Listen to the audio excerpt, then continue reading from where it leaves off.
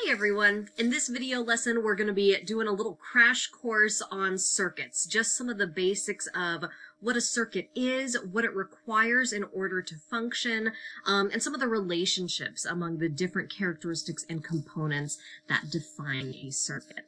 Now, when I'm talking about a circuit, the first thing that I think of is current, this movement of charge through uh, this particular pathway that I have defined with my wires. Okay, so that this is sort of the first fundamental thing that we need in a circuit in order for it to function is we have to have charged particles moving around um, this particular pathway. Now these charged particles are typically electrons. They could be um, other types of ions, uh, but in any case we're talking about some sort of electrical charge moving along uh, through this predefined pathway.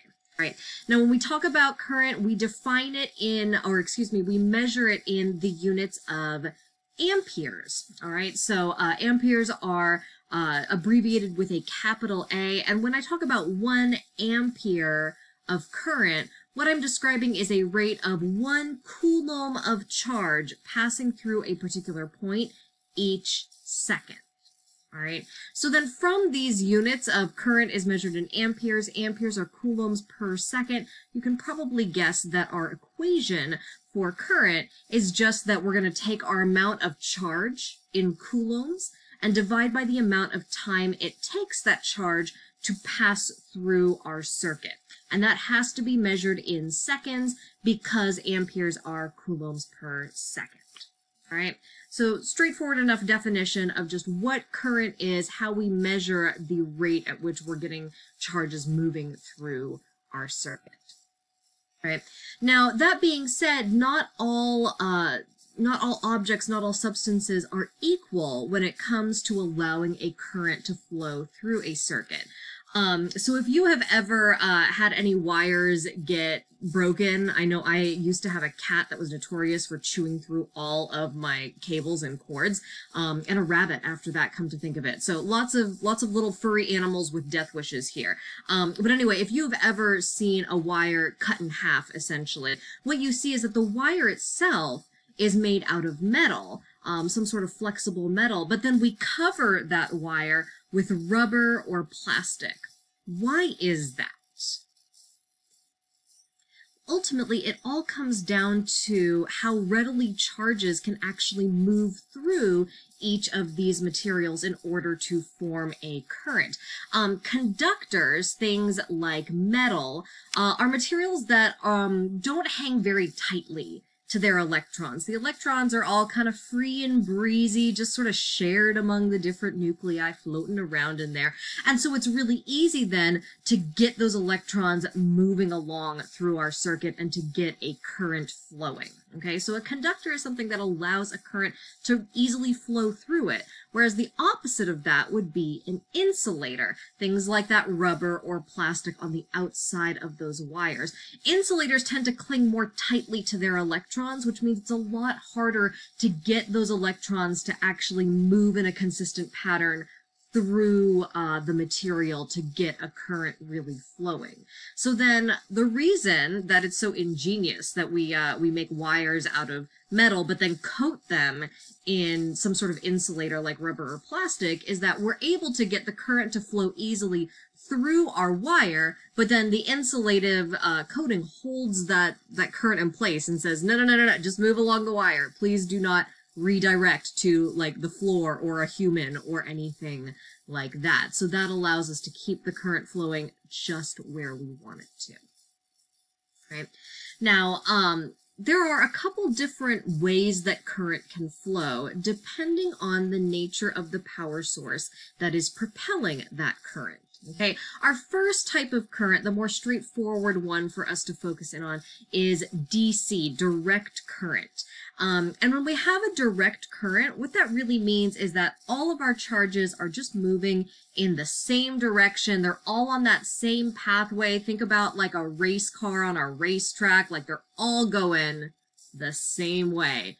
Doing their thing, okay? And this is because they have one steady power source that is fixed in place. So anything that is battery operated is going to operate on direct current because all of the charges are going to be compelled to move in the same direction, all right? The other alternative is alternating current or AC. Uh, so with an alternating current, as you might guess, uh, the power source is, is alternating, it's oscillating back and forth. This is how our power grid works, actually. We don't have just a set um, set voltage in place. More on that in just a moment. Um, but instead, we kind of have this oscillation of move this way. No, move that way. No, move this way. No, move that. And so our little charges are very confused. And so our current goes this way and then the other way and then this way and then the other way. Um, and obviously, I have to mention that with the options being DC and AC, um, immediately we should think of, you know, rock music here. Um, and ACDC actually did get their name from looking at a sewing machine um, and some of the specs on it, and it talked about ACDC. Like, it was literally talking about current. And they were like, that's a great name for a band. And they even have a little lightning bolt. Like, it's all, it's all physics. All right, now just to illustrate this for you a little bit more, I have a short simulation of DC and AC circuits to show you. Notice how in the DC circuit, the direct current has all of our charged particles moving the same way the entire time. In our AC alternating current circuit, we see those charges swaying back and forth.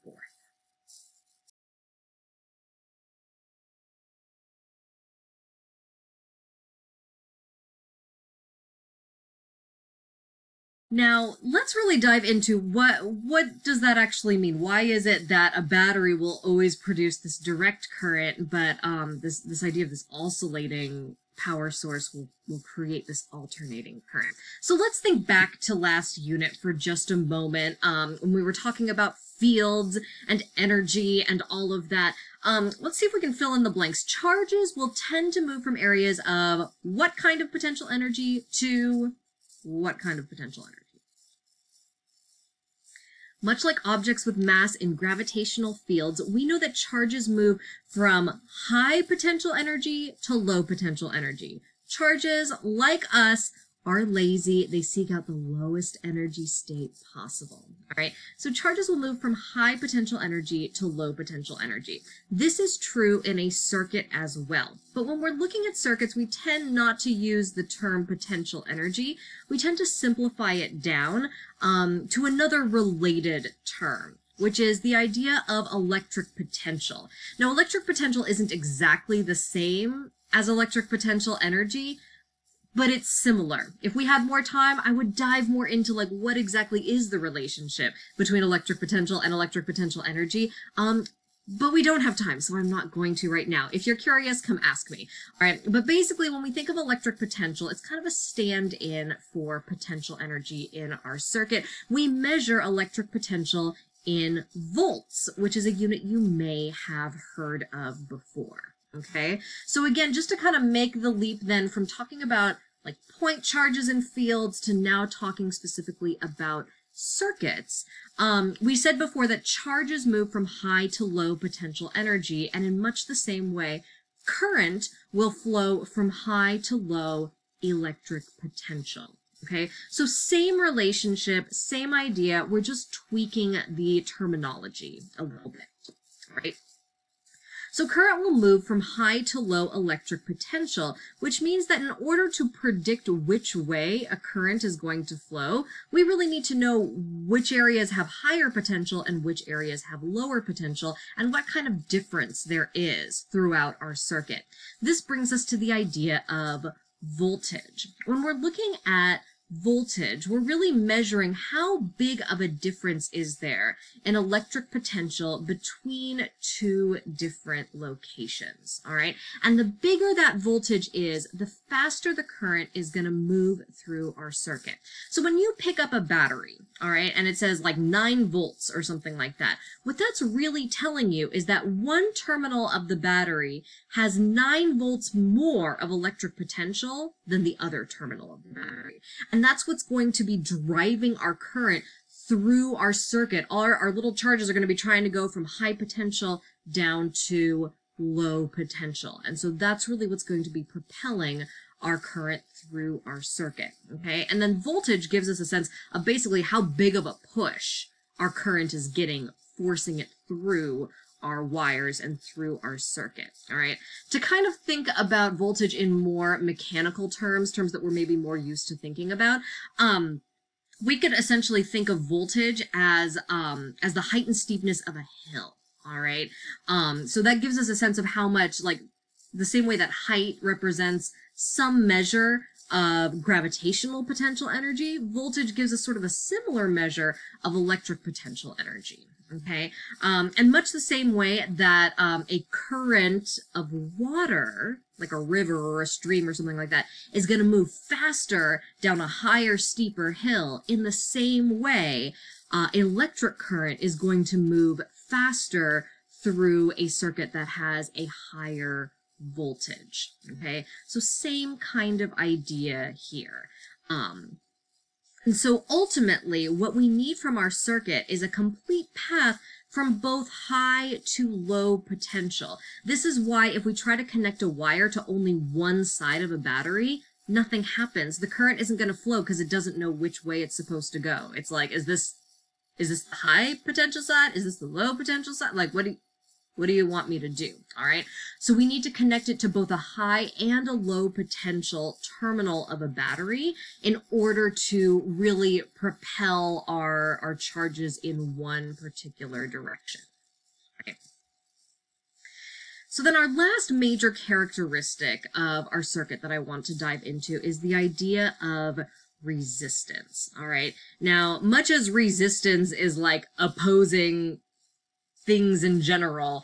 Um, resistance in a circuit, same idea. We're talking about an opposition to current, something that's trying to slow our current down, trying to thwart it, trying to keep the charges where they are and prevent them from moving, moving smoothly through our circuit. Now, resistance is measured in a new unit which we call ohms, and we represent ohms uh, or, or abbreviate ohms with a capital Greek letter omega um, which looks kind of like a horseshoe, basically. So, so pulling out, busting out our Greek alphabet skills. Um, and when we talk about something that provides resistance in a circuit, most things that we are plugging into a circuit ultimately serve the purpose of, of providing resistance. They are additional hoops that our current has to uh, jump through in order to get from one side of the circuit to the other. So whether we're talking about like a light bulb, or your refrigerator or, you know, a music player or something like that. All of those things ultimately are providing resistance, slowing down our circuit.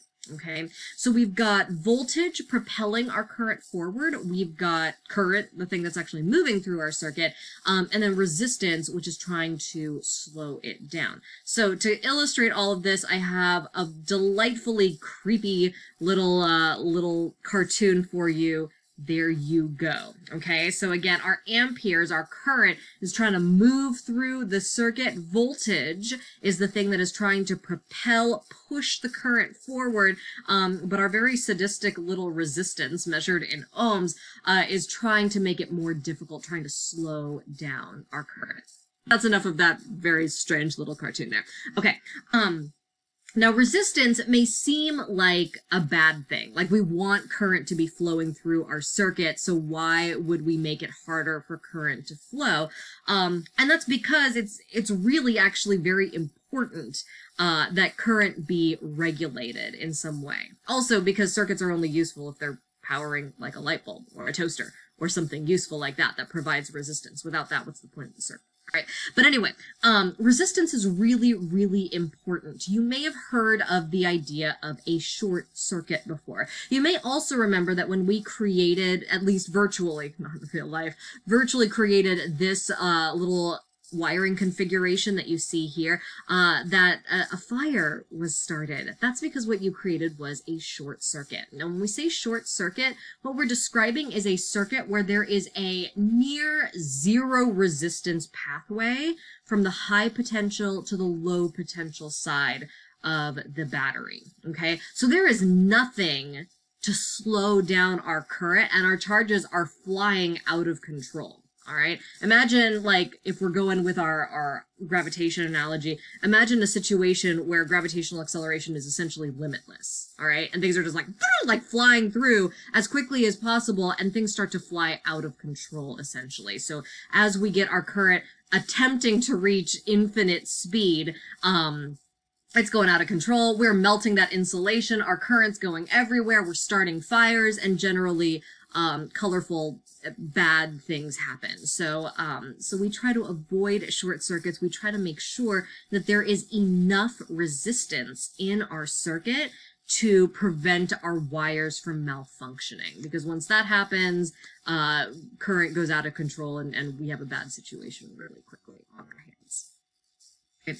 So just to revisit then some of these different ingredients for our circuits. So, so far we've been playing with batteries, wires, and light bulbs. Let's start with the battery. What is the purpose of the battery in a circuit? Well, our battery is providing voltage, and the importance of voltage is that it's pushing our current forward. No voltage means no push to our current, nothing that's gonna, gonna kind of get it moving all in one direction. All right, what about the wire? Why, why do we need a wire in our circuit? The wire ultimately provides us with a pathway for the current to travel on. It's a nice open road, low resistance, so it's nice and easy for our current to travel and we can really direct which way it's going with the wire. Lastly, aside from lighting up, which is, you know, the most obvious purpose of the light bulb, why else do we need a light bulb in our circuit? Why couldn't we just have a battery and a wire? A light bulb is super essential to our circuit because it provides that resistance. It prevents us from shorting out our circuit, creating electrical fires, having current uh, flow out of control. Now, last thing to get into is a little bit more of that mathematical relationship among some of these different quantities. All right, so in our investigation, we looked at relationships among current, voltage, and resistance. So just to revisit, what is the relationship between current and voltage? That's a linear relationship, a proportional relationship. If voltage increases, current's going to increase as well at the same rate. Okay, so we double the voltage, we double the current. All right, what about current and resistance? What kind of relationship did they have? They have an inverse relationship. All right, so as resistance goes up, current goes down by the same factor. So if I double the resistance in a circuit, the current is going to drop down to one half of what it used to be. Okay, so what we need is an equation that sums all of this up for, for uh, current to have both a linear relationship with voltage and an inverse relationship with resistance what equation is best going to, to serve those purposes and, and encapsulate all of those relationships? It's really this simple. So current is equal to voltage over resistance. We've got voltage in the numerator because it's a linear relationship. We got resistance in the denominator for that inverse relationship. And then because people tend to hate fractions for whatever reason, we can just multiply both sides of the equation by r to get this happy non-fractiony form of this, uh, this relationship. Voltage equals current times resistance. Okay, so that's kind of what this all comes down to. I represents current measured in amperes, V is voltage measured in volts, and R represents resistance, which is measured in good old ohms. Lastly, let's just walk through a sample problem together. So we've got a 240 ohm light bulb and 0.6 coulombs of charge are moving through that light bulb every minute. Now, assuming there's nothing else on this circuit, nothing else that's kind of messing with our current, what must be the voltage of the power source that is powering this light bulb? So let's work through our guess method. Um, some of the information that we know. So I see this 0.6 coulombs of charge. Um, so that represents charge. All right, so charge is 0.6 coulombs. The next thing I know is that um, it takes one minute for these 0.6 coulombs of charge to move through our light bulb. So that represents our time. And again, we always want to measure time in seconds. So instead of using one minute, I'm going to convert that over and say 60 seconds. I also see this number of 240 ohms. What does that represent about my circuit? That's the resistance of my light bulb. So the resistance is 240 ohms. I am trying to solve for voltage. Now, before I can solve for voltage, I'm going to have to solve for current, which I can do because I know the amount of charge moving through my circuit and I know the time frame over which that charge is moving. So I'll solve for current by dividing charge by time. So 0.6 coulombs per 60 seconds gives me a current rate of 0.01 amperes. And then from there, I can solve for voltage using, excuse me, Ohm's law. So voltage, voltage is equal to current times resistance, so that's 0.01 amps times 240 ohms, giving me 2.4 volts on my circuit. All right, that is it. That's your crash course in some of the basics of circuit functioning. Thanks so much for joining me.